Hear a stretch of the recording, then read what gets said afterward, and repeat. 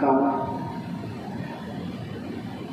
कि जो परिवर्तन यात्रा आपके महेंद्रगढ़ में पहुँची थी,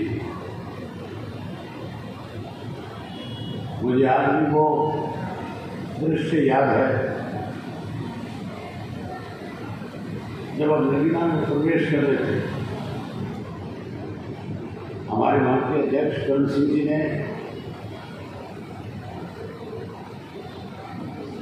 ढोल नगाड़ों के साथ फूल मालाओं के साथ, आतिशबाजी के साथ, और सैकड़ों की संख्या में माताओं, बहनों को साथ लेकर के हज़ारों की संख्या में पार्टी के नौजवान साथियों को बुज़ुर्गों को साथ लेकर के रिवाड़ी में महेंद्रगढ़ के बॉर्डर पर स्वागत किया था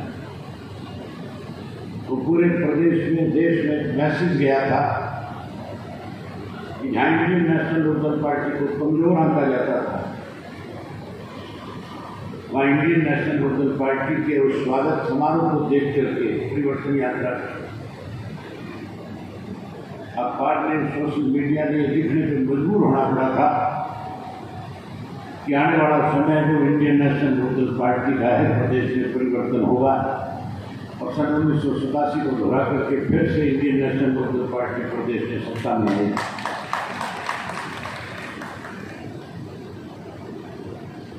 तेरह दिन तक यात्रा महेंद्रगढ़ में चली और महेंद्रगढ़ के लोगों ने अथा प्यार यात्रा को दिया जिस भी गाँव में गया गए अभूतपूर्व स्वागत हुआ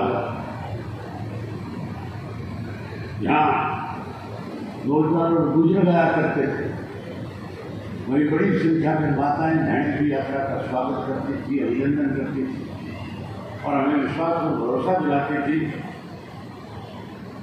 कि आने वाले कल जब चुनाव होंगे तो महेंद्रगढ़ की चारों सीटों को इंडियन नेशनल लोकल पार्टी को जिता करके प्रदेश में सत्ता बनाने का काम करेंगे। आज की आपकी मीटिंग से ये साबित होता है कि प्रदेश में परिवर्तन की लहर चल रही है जिस बड़ी संख्या में आज आप यहाँ आए हो माता बहन की संख्या में यहाँ पे बैठी है ये पत्रकार साथी कल अखबारों में लिखेंगे कि महेंद्रगढ़ में बहुत बड़ा बदलाव है 25 सितंबर को चौधरी देवीलाल जी के जन्म दिवस के ऊपर बड़ी संख्या में लोग इस इलाके से जाएँगे। नाथ चौधरी देवीलाल के प्रति अपने श्रद्धा सुमन अर्पित करेंगे।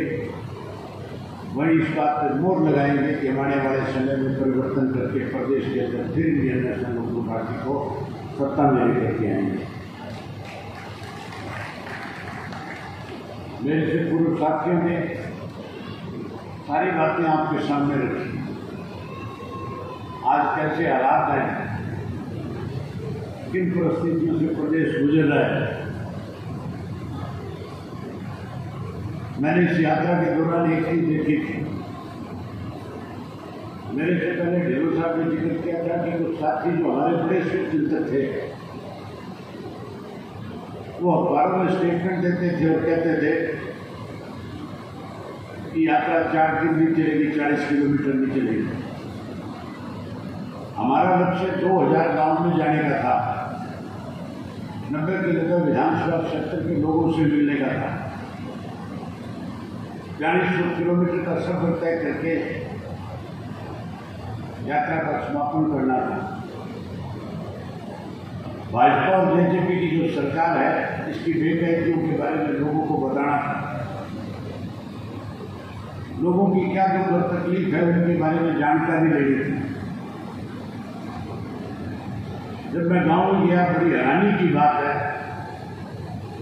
कौशिक साहब कह थे, डॉक्टर नहीं है अस्पतालों में। स्कूलों में मास्टर नहीं है। मैंने अपनी आँखों से देखा, जब 24 फरवरी को मेवात से चले,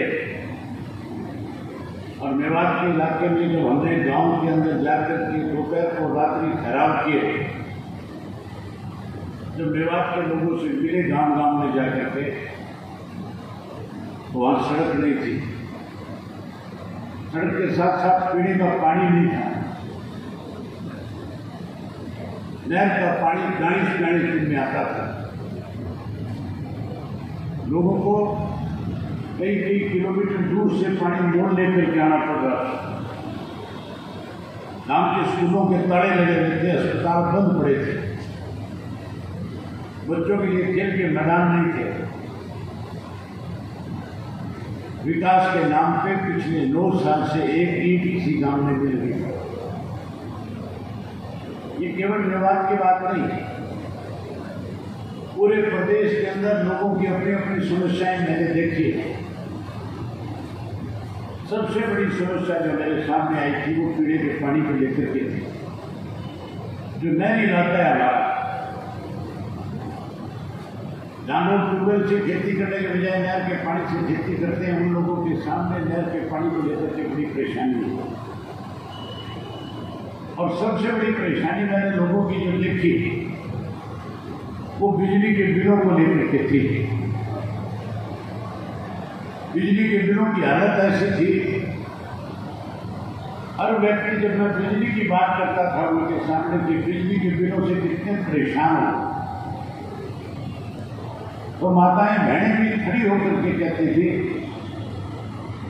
बिजली के बिल भरे भी जाते जो बिल पाँच सौ सात सौ रुपये का आता था पाँच हज़ार रुपये का लग गया। हमारे मुख्यमंत्री ने एक ऐलान कर रखा है। कि जिस किसी के घर का बिजली का बिल दस हज़ार रुपये से ज़्यादा साल का आ गया। हम उन बुज़ुर्गों की पेंशन काट देंगे गरीब का पीड़ा कार्ड काट देंगे राशन कार्ड खत्म कर देंगे मुझे कोई एक व्यक्ति ऐसा नहीं मिला किसी गाँव के अंदर जिसने ये कहा हो कि मेरा बिजली का बिल दस हज़ार से कम साल का आया है साथियों एक षड्यंत्र है सरकार का। बुज़ुर्गों की पेंशन खत्म करने का, गरीब आदमी का पूरा कार्ड खत्म कर देना आप पच्चीस तारीख को बड़ी संख्या में आओ, बड़ी संख्या में अपने साथियों को लेकर के पहुंचो। जिस तरीके से अभी आपके प्रभारी रघुवीर मंडोला जी ने बताया कि हमने अलग अलग विधानसभा क्षेत्र से इतने इतने साधन किए हैं। बात साधनों की नहीं है, साधन आप जितने कहोगे उतने साधन आपको दे दिए जाएँगे। जितने साधन मांगोगे, साधनों की कमी नहीं आने देंगे आप चारों विधानसभा क्षेत्र के जो हल्का के अध्यक्ष बैठे हुए चारों के चारों होना यहाँ पे बोल आपका टारगेट होना चाहिए कि हर विधानसभा क्षेत्र से कम से कम तीन हज़ार व्यक्ति जो है बड़े बुज़ुर्ग नौजवान साथी हर विधानसभा क्षेत्र से जाए। हर विधानसभा क्षेत्र से 500 से 700 माताएँ, बहनें भी कैथल के अंदर ज़रूर पहुँचे। आपके पास समय आज ग्यारह तारीख है। अभी चौदह दिन आपके पास बाकी हैं। इन चौदह दिनों में अगर आप सात नियत के साथ काम करो। मैं आज नहीं कहना चाहता। मैंने आज की मीटिंग में भी चीज़ नोट करी है और उसका ज़िक्र नहीं करना चाहता। लेकिन अगर सही मायने में आपको पार्टी की जो मान सम्मान ज़रूरी है, जो जिम्मेवारी आपको सौंपी है, उसको निभाना जानते हो तो फिर आपको टारगेट दे दिया गया है।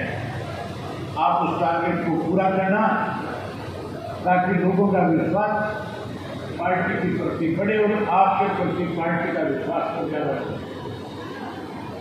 मैं उम्मीद करूँगा कि जिस विश्वास के साथ पार्टी ने आपको जिम्मेवारी सौंपी है। उसमें आप कोई कसर नहीं छोड़ोगे। और इस टारगेट को पूरा करके हर हालत में महेंद्रगढ़ से जो जिम्मेवारी मैंने आपकी लगाई है कि कम से कम आपके इलाके से बारह से पंद्रह हज़ार साथी वहाँ पहुँचे मैं उम्मीद करूँगा कि आप उनको लेकर क्या हुए ये तो अच्छी चीज़ है बारिश हो तुम तो सुखों में मरने लग थे सरकार तो नहीं चाहती थी तुम्हारी हम बारिश हो सरकार तो तुम्हारा बाजरा खत्म करना चाहती मैं उम्मीद करूँगा कि जितने साथी आज यहाँ आए हो, आप लोग आज से अपने अपने गाँव में जाकर के अपने अपने साथियों से संपर्क करके, ज़्यादा से ज़्यादा साथियों को पच्चीस तारीख को कैथल में लेकर के आओगे जब कैथल में ज़्यादा लोगों को लेकर के आओगे तो एक संदेश पूरे देश में जाएगा, क्योंकि देश के सारे बड़े नेता आज जो इंडिया बना हुआ है, इस इंडिया की शुरुआत चौधरी ओम प्रकाश चौटाला जी ने करी थी। आप सब साथियों को याद होगा, आप पिछले साल जब फतेहाबाद में आए और वहाँ जो लाखों लोग ने चौधरी जयलाल के प्रति जहाँ श्रद्धा सुमन अर्पित किए, वही देश के विपक्ष के जो नेता वहाँ चौदह अलग अलग पार्टियों से आए थे उनको संदेश दिया था और कहा था। कि अगर आप एकजुट हो जाओगे, इकट्ठे हो जाओगे, अगर आप भाजपा के खिलाफ सही मायने में इस भाजपा को सत्ता स्वीकार करना चाहते हो तो फिर स्वार्थ की राजनीति को छोड़ करके आपको इकट्ठा होना पड़ेगा। और चौधरी ओम प्रकाश चौटाला जी ने उस वक्त आह्वान किया था। नीतीश कुमार जी से कहा था ये जिम्मेवारी आपके लिए लगाते हैं। आप विपक्ष को इकट्ठा करो और इकट्ठा करके भारतीय जनता पार्टी को सत्ता से बाहर करने के लिए सारे मिलकर के काम करो। उसी का नतीजा आज कि 26 राजनीतिक दल जो है आज इकट्ठे हैं, जिन्होंने ये फैसला लिया है कि हम अपने स्वार्थ को छोड़ करके कहीं ना कहीं भारतीय जनता पार्टी को देश की सत्ता से बाहर करने का काम करेंगे। अगर आप बड़ी संख्या में आओगे, बड़ी संख्या में वहाँ इकट्ठे हो जाओगे तो फिर साथियों बाँध करके चलो, जो अलग अलग राजनीतिक दलों से लोग आपको सुनने और देखने के लिए आएँगे, जो आपको संबोधित करने के लिए आएँगे, वो फिर वहाँ संकल्प लेकर के जाएँगे कि हरियाणा की जनता अंदर लोगों को मायूसी होने देगी और वो फिर इकट्ठे होकर के इस भारतीय जनता पार्टी को सत्ता स्वीकार करने के लिए एक बड़ी ताकत के रूप में इकट्ठा होकर के लड़ने का काम करेंगे। जहाँ से देश से सत्ता से भाजपा को बात करने का वहाँ संकल्प किया जाएगा, वहीं मुस्लिम हरियाणा प्रदेश के लोग इस बात पर बोर्ड लगाएँगे कि दो हज़ार चौबीस के विधानसभा के चुनाव में भारतीय जनता पार्टी को जेजेपी की सरकार को खत्म करके कांग्रेस को सत्ता से दूर रख करके इंडियन नेशनल लोकल पार्टी को फिर से सत्ता में लाने का काम करेंगे। मैं उम्मीद करूँगा कि आप बड़ी संख्या में आओगे। जो टारगेट आपको दिया गया है, मुझे कार्यकर्ताओं के, पार्टी के नेताओं को जिनको अलग अलग दल जिम्मेवारी सौंपी गई उन सब लोगों पर भरोसा है कि वो सारे मिलकर के काम करेंगे। और हर हालत के अंदर हज़ारों की संख्या में अपने साथियों को लेकर के कैथल में पच्चीस तारीख को पहुँचेंगे यही बात आपसे कहने करने के लिए है। आप सबने मेरी बात सुनी। इतना काम का समय समय और काम के समय के बावजूद हमारी माताएँ बहनें इतनी बड़ी संख्या में बैठी है। इस बात से कि साफ़ संकेत जाता है कि आज हर किसी का फैसला है कि हमने बदलाव करना है, हमने परिवर्तन लेना है। और परिवर्तन तभी आएगा जब आप पच्चीस तारीख को लाखों की संख्या में इकट्ठे हो जाओगे, मुझे भरोसा है कि आप पच्चीस लाखों की संख्या में आओगे और हर हालत में प्रदेश प्रदेश में बदलाव के बोर्ड लगाओगे।